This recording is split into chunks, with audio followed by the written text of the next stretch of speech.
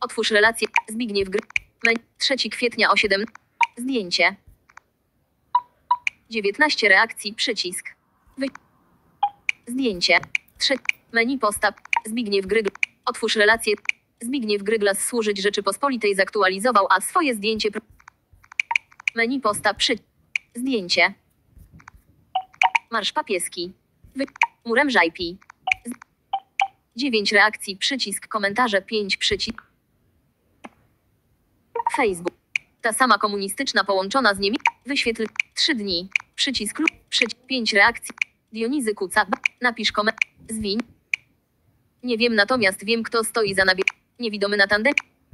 Wyświetl więcej. Nie wiem natomiast wiem kto stoi. Niewidomy na tandemie Kowalbajk przycisk.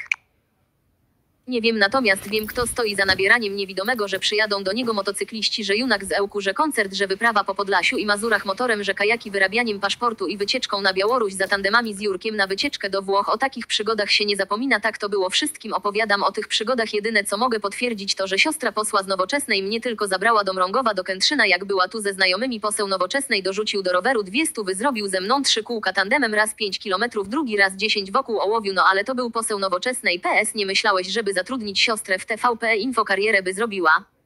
Niepotrzebnie wyrabiałem paszport do tej pory. Pamiętam jak dwa razy pod blokiem czekałem na motory pseudonim. Proszę nie usuwać w komentarzu być prawym i sprawiedliwym, bo ludzie cały czas myślą, że gdzieś mnie zabieraliście na wyprawy, a ja jestem roszczeniowym niewdzięcznym inwalidą. Nawet jedna osoba myślała, że poseł Gryglas jeździł ze mną po 100 kilometrów tandemem. Ja tam twierdzę, że taki dystans by mógł posła zabić. Zresztą pewnie mnie już też robiłem trasy po 140, ale już 200 nie zdążyłem. Zresztą już zrezygnowałem z kolarstwa.